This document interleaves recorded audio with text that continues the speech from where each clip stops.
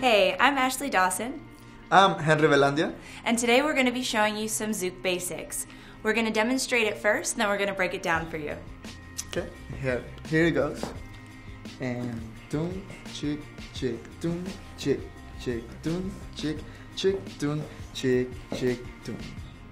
Yes? Great. So that was the basic step, and we're gonna break it down for you. And this dance, just to give a little background, comes from a Brazilian dance called lambada. So it has a lot of movements and slow movements. So when we do it with the music, you will see. Okay. So let me break it down first. The basic steps. So the guys are gonna hold the ladies with the right hand. You're gonna hold the ladies back. You're gonna embrace her entire back with your forearm and your hand. Okay.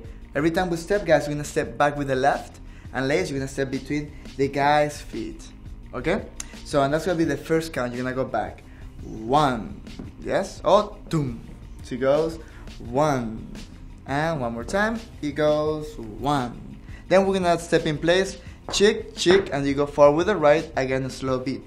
Doom. And then chick, chick, and you go back on the left. Doom. Chick, chick, and forward.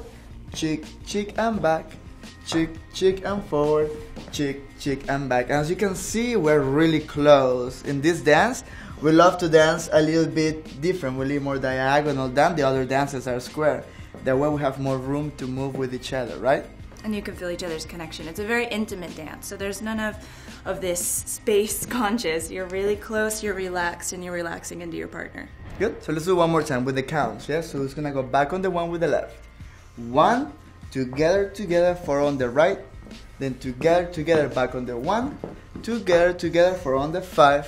Together, together, doom, chick, chick, doom, chick, chick, doom, chick, chick, doom, chick, chick, doom. Yes. Now let's try with some music. So we start with the slow motion because the music is not calling for it.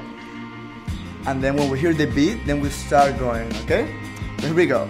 Five, six, seven, and doom, chick, chick, doom, chick, chick, doom, chick, chick, doom, chick, chick, slow, slow, chick, chick, doom, chick, chick, doom, chick, chick, one, chick, chick, five, chick, chick, doom, chick, chick, doom, and we stop.